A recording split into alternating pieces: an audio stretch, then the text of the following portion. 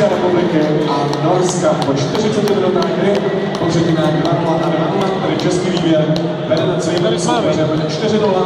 O branky se postarali a Bohumil Jank a Martin Zakovič, asistence obraní branky Lukáš Radil, dvojník Mozík, druhé pan Lukáš Kovář. Co se týče vyloučení na straně domácích Robert Kousal, Radek Svalňák s minutu do třetí části hry na straně hostí pan Optikávali dvě minuty per a Skreta a Nikolaj Perniclen.